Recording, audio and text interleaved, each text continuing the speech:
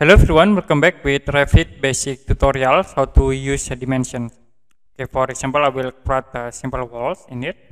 Okay, I will create uh, basic drawings and I will change into art tools. Click here, start from this point and create uh, this wall.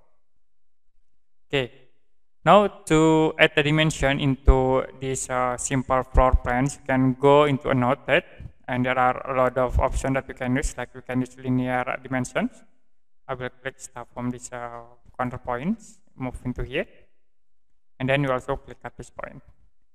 To be automatically create at two dimensions you also can create like from this point into this point.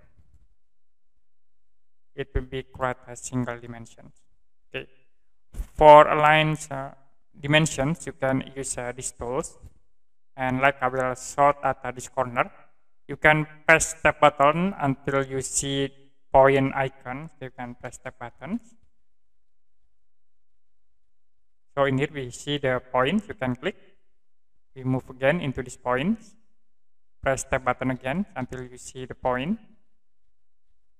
Okay and then you can move at this point.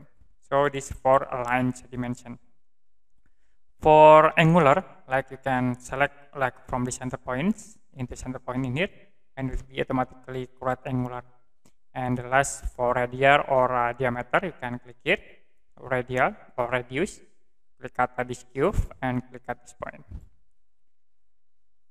Okay, that's it, how to use the dimensions in Revit. And if you have any question about this tutorial, you can comment below this video.